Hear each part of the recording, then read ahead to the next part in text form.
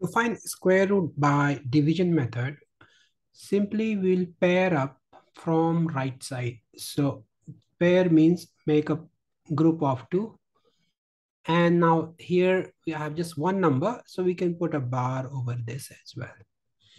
Now, we'll find a square number whose square is either equal to or less than the first bar number, which is 8 here.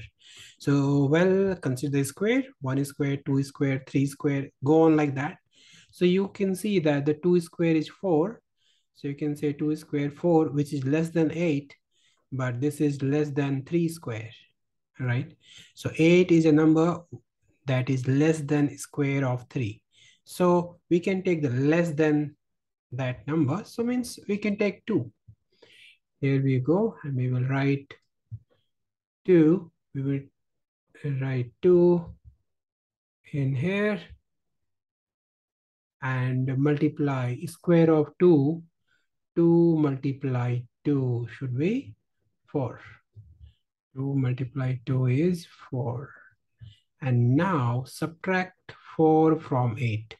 8 minus 4 is 4. And bring down this pair, which is 41, is brought down. So we get 441. Add these two numbers, 2 plus 2 is 4. Either you add these two numbers or double this quotient. You get the same number, 4.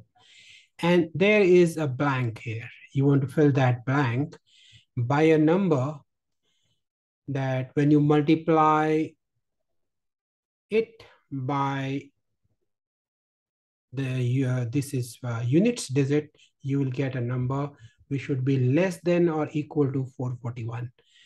So how to guess what number you fill in this blank? One way to guess it is just take away the last digit, take away this and 44 and guess how many times 4 44 is divisible by 4 well looks like it's divisible 11 times but usually you will not write a two digit number here. You will write only one digit number.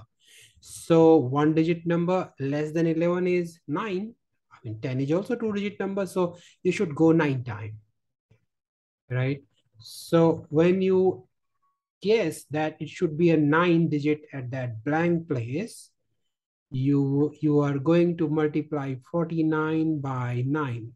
49 into 9 is 9 9 81 and 9 4 36 and 8 is 41. So you get this number 441. That means if you write 9 here, you will write 9 in quotient also. So 29 and this number would be 441 and subtracting this you get 0 in remainder. Since you get 0 in remainder, that means a square root of 841 is equal to the number in the quotient, which is 29.